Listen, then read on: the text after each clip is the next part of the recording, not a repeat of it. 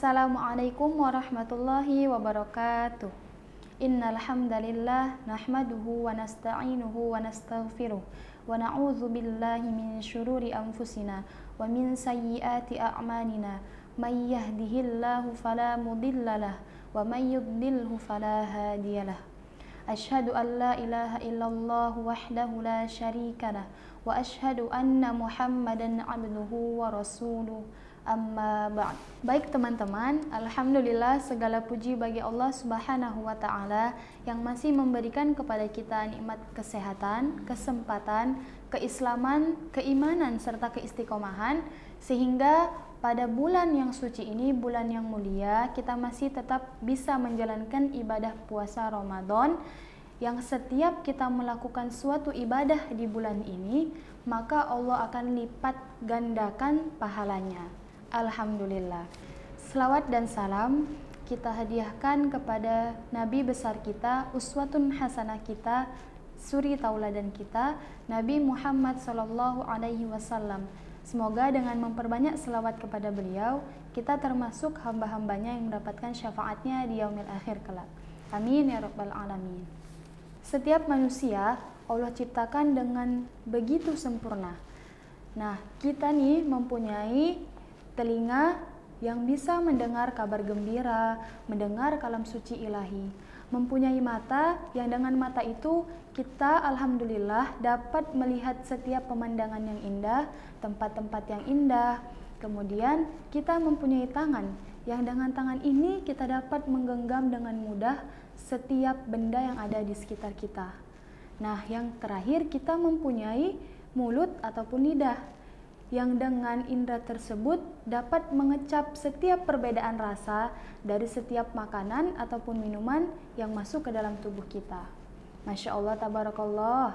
Begitu sempurnanya Allah menciptakan struktur tubuh kita dengan fungsinya masing-masing. Tapi tahu nggak nih teman-teman, ternyata Allah juga menitipkan salah satu nikmatnya yang begitu indah kepada kita di dalam tubuh kita. Apa itu? Itu adalah hati.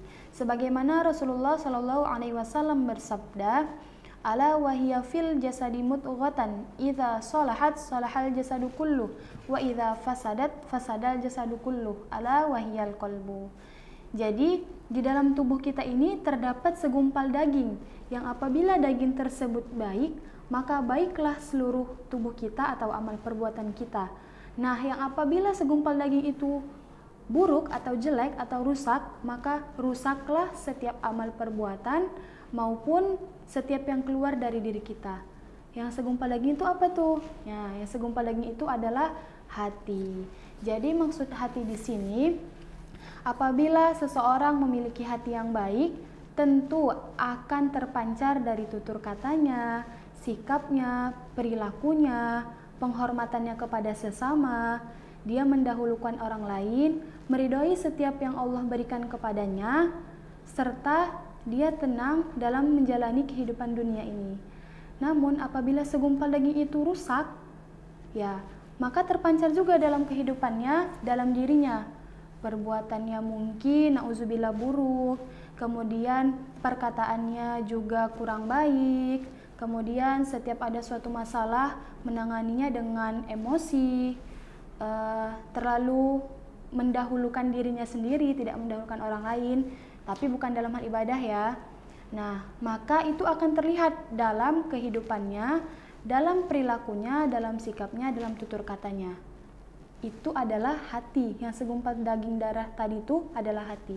Jika dia baik, tentunya insya Allah semuanya akan baik. Oke, karena kan tadi dibilang hati, jadi kayak mana nih ya? Caranya supaya hati kita itu baik. Pasti ada yang bertanya ya, gimana caranya hatinya supaya baik nih? Oke. Ternyata Allah juga sudah sebutkan di dalam Al-Qur'an surah Al-Qasas ayat 56. A'udzu billahi minasyaitonir rajim. Innaka la tahdi man ahbabta walakinna Allah yahdi man yasha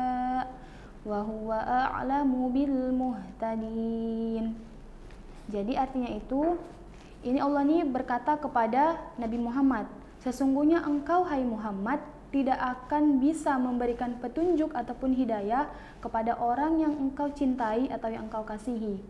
Dan akan tetapi nih, Allah lah yang memberikan petunjuk kepada siapa yang dia kehendaki. Karena apa? Karena Allah lebih mengetahui orang-orang yang ingin mendapatkan petunjuk tersebut daripada manusia itu sendiri.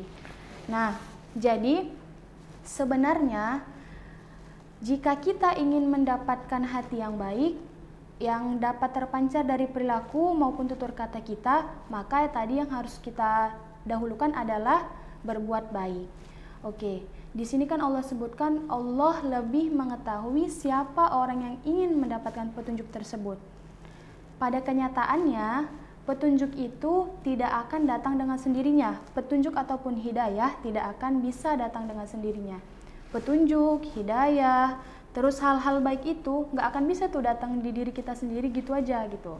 Jadi kita tuh harus menjemputnya, harus meraihnya, harus benar-benar berusaha untuk mendapatkannya. Jadi mungkin pernah nih terjadi di dalam hidup kita ya. Contoh, misalnya nih lagi azan, tiba-tiba kita lagi kerja nih, kemudian azan, terdengar azan. Di dalam hati kita, saya yakin pasti teman-teman juga merasakan, eh udah azan, waktunya sholat gitu. Tapi karena nafsu tadi kita menyuruh kita untuk tetap mengerjakan pekerjaan tersebut dan tidak mendahulukan sholat, maka kalahlah hidayah yang datang daripada keinginan kita sendiri gitu.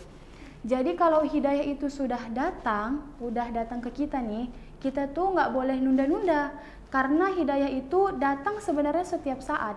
Setiap saat di setiap perbuatan itu datang hidayah kepada kita.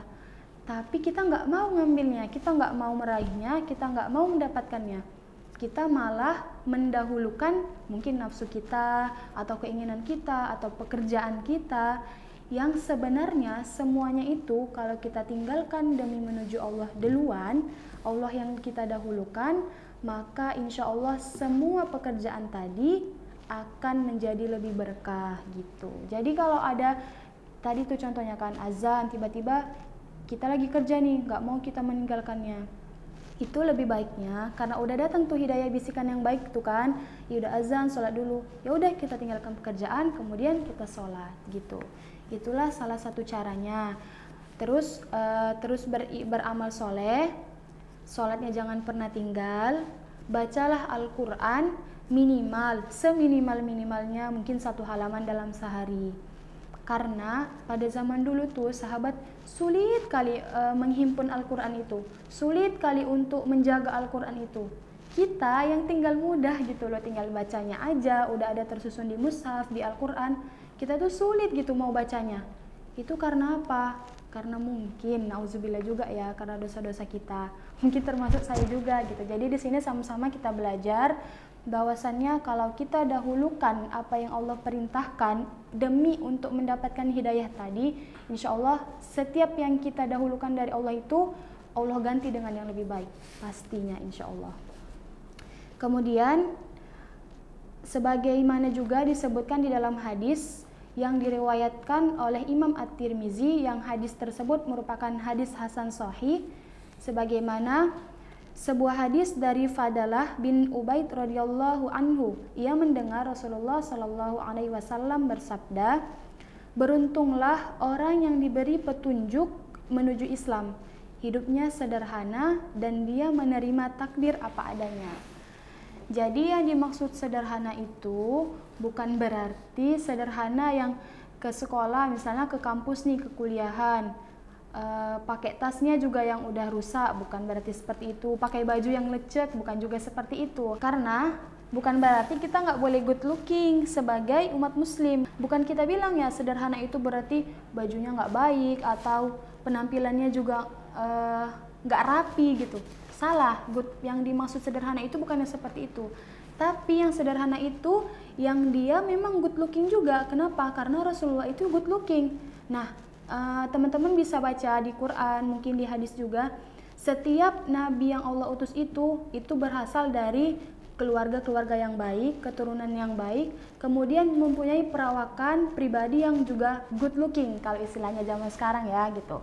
Jadi bukan berarti yang dibilang sederhana itu yang nggak memperhatikan uh, kerapian kita bukan. Cuman yang dibilang sederhana itu adalah ketika kita memilih sesuatu itu sesuai dengan kebutuhan kita, tidak berlebih-lebihan karena Allah tidak menyukai hambanya yang berlebih-lebihan. Kalau berlebih-lebihan dalam ilmu, bagus, luar biasa. Kalau berlebih-lebihan dalam ibadah juga baik. Cuman pun dalam ibadah itu bukan berarti berlebih-lebihan satu hari nih ibadah terus nggak ada kerja nggak ada makan, bukan berarti seperti itu gitu. Jadi eh, teman-teman juga pasti tahu kayak mana yang dimaksud dengan sederhana di sini dan menerima takdir dengan apa adanya. Nah, sebagaimana yang ada di Al-Qur'an, fa idza azamta fatawakkal 'ala Allah. Innallaha yuhibbul mutawakkilin. Jika kamu sudah berazam, jika kamu sudah berusaha, kamu sudah berdoa, kamu sudah bertekad untuk melakukan sesuatu, nah setelah semua proses tadi kamu lewati, maka yang terakhir itu kamu tinggal ngapain? Tawakal, tawakal berserah diri sama Allah. Gimana pun hasilnya nanti, yang penting kita sudah melalui usaha, sudah melalui doa, sudah melalui ikhtiar yang baik dengan cara yang baik, tentunya Allah akan memberikan apa yang terbaik sesuai dengan kesanggupan kita gitu. Jadi nih misalnya kita nih dalam suatu kompetisi atau dalam kelas gitu ya, ada atau ada tugas gitu yang teman-teman di kuliahan nih gitu. Ada tugas nih tiba-tiba ih tugasnya banyak. Terus itu waktu deadline-nya ada juga. Tapi kita ini mau menampilkan yang terbaik nih. Ya udah kita tinggal doa kemudian kita usaha dengan sebaik-baiknya. Setelah itu misalnya tugasnya sudah selesai dikumpulkan ke dosen. Hasil dari tugas tadi itu bukan penentuan kita. Itu bukan dari kita. Itu udah kita serahkan ke Allah semuanya. Bagaimana nanti hasilnya itu akan Allah pasti kasih yang terbaik sesuai dengan hati kita bisa jadi Allah tahu ketika kita dapat nilai tinggi kita jadi sombong. Alhamdulillah nggak Allah buat nilainya tinggi kali. Karena apa? Karena menjauhkan hati kita dari sifat sombong. Jadi berprasangka baiklah terus kepada Allah. Jika sudah berprasangka baik kepada Allah, maka Allah akan seperti prasangka kita tersebut gitu. Alhamdulillah eh, sharing-sharing kita sudah selesai ya.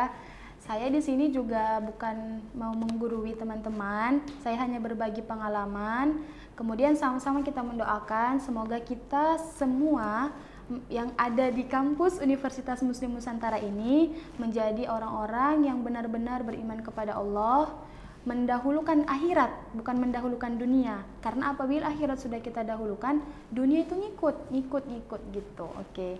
Jadi sama-sama berdoa supaya Allah mudahkan setiap urusan kita di Ramadan yang penuh berkah ini. Semoga kita dapat menjadi pribadi yang lebih baik bukan hanya di Ramadan, tapi waktu di Ramadan dan sesudah dari Ramadan.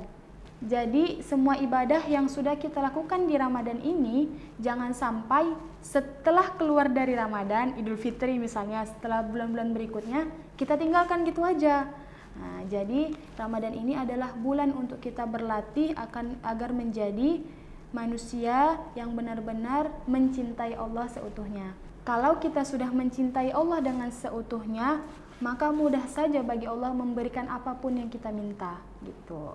Jadi, saya berharap semoga kita mendapatkan keberkahan di bulan yang mulia ini. Terima kasih. Assalamualaikum warahmatullahi wabarakatuh.